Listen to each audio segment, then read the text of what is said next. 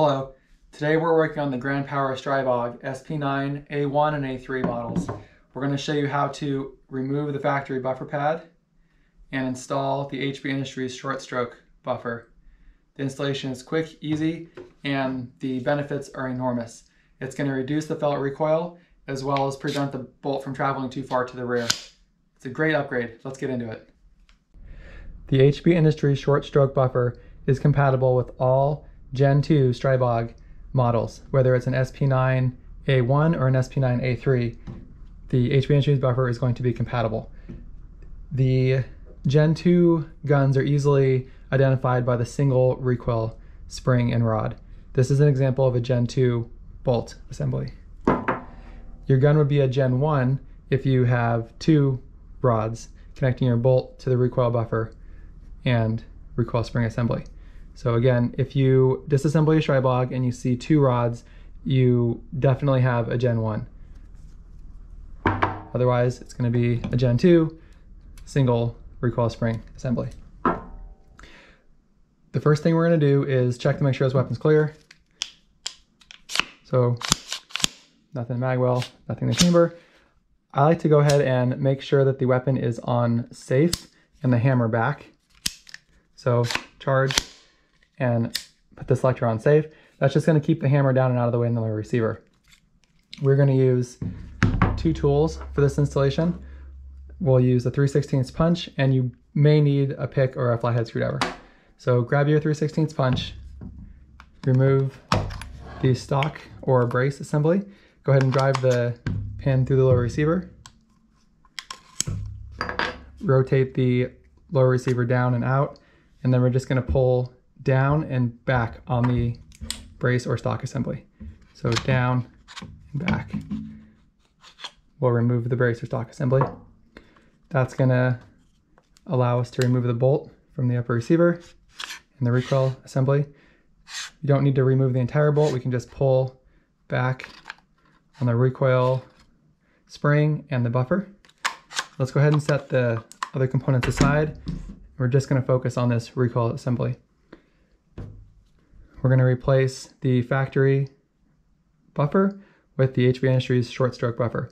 You can see side by side, the HBI product is longer, giving it the short stroke effect, as well as made from a different durometer of polyurethane and integrated into the HB Industries short stroke buffer is additional dampening characteristics which reduce the impulse of the bolt as it recoils rearward.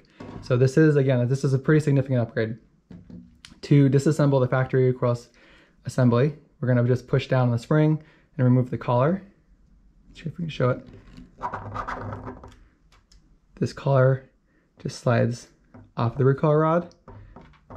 Obviously with spring pressure, go ahead and release it slowly, sliding the spring off of the recoil rod. The recoil rod is a two-piece assembly. You can kind of see it here, it's collapsible.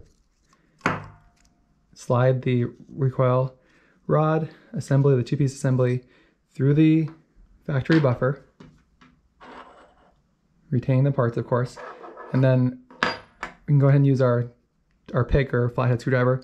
On the back side of the factory buffer, we're gonna pull like a little collar out like that. And this is going to go on the larger diameter or the rear of the recoil, recoil rod assembly. And on the front side, in this front pocket, there's going to be another washer or chamfer spacer. It's just a flat chamfer spacer or washer. And that's going to go on the front side of our, um, of the new short stroke buffer. So with the factory buffer fully disassembled, go ahead and set it aside. Grab your HB Industries short stroke buffer we're gonna install the collar into the side of the buffer that says HBI USA on it. You'll also see a countersink, made in countersink for this collar. Slip the collar in small side down into the pocket. Make sure it's flush. Go ahead and reinstall the, the two-piece collapsible recoil rod, sliding it through the collar and flat. At this point, I like to use a hand or a finger on the back of the short stroke buffer just to kind of hold the rod in place while we drop the washer we removed back down over, make sure it slips over the large diameter rod and down into the bore of the buffer. You can also kind of slip it down with the spring. So next piece will be the spring, of course. Slide your spring back on and compress the spring. And then we're going to reinstall this retaining the retaining clip onto the front of the rod. Slip it on and release the spring pressure.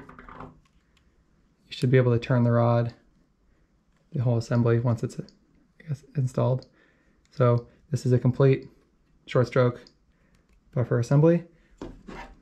Grab your upper receiver, go ahead and insert it back into your bolt, slide the buffer into the upper receiver, reinstall your brace or stock assembly,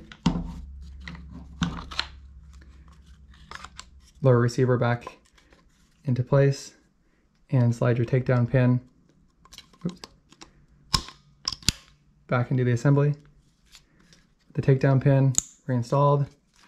We can function check and we're ready to go.